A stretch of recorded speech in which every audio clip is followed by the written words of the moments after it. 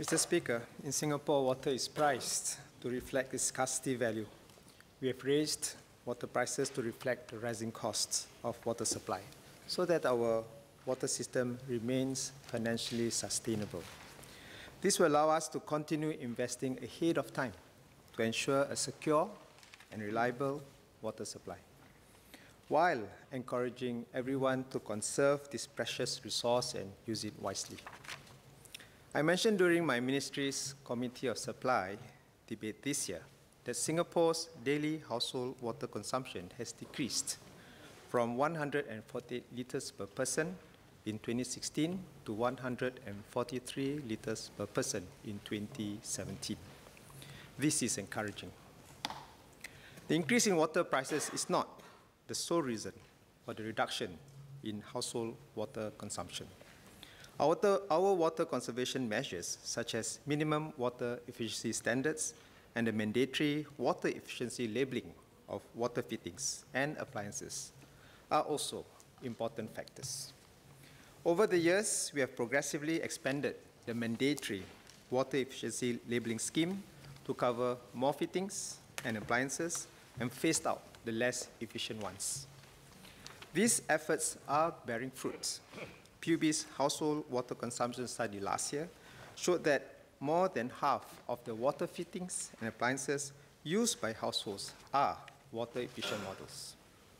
We will continue to encourage the use of more water efficient products. Starting this month, PUB will require all dishwashers sold in Singapore for household use to have a water efficiency label so that consumers can make informed purchasing decisions.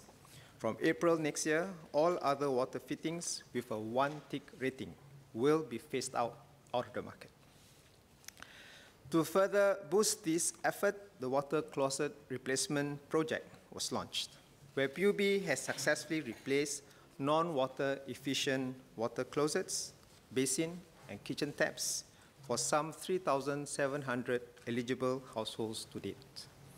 Recognizing that showering contributes most to household water usage, smart water devices will be installed in 10,000 new homes over these two years to motivate residents to watch and cut down on water usage during showers.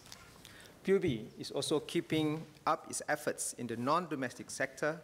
PUB has been working closely with more than 600 large water users in the submission of their water efficiency management plans.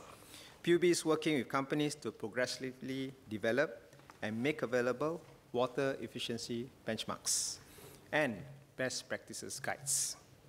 This will be resources developed with the industry for the industry. Companies have already responded positively, with a number looking to implement water efficiency projects. Water is a scarce project. It's a, water is a scarce resource that should not be taken for granted, ever. I urge everyone to do our part to use water wisely so that we can continue to enjoy it for years to come.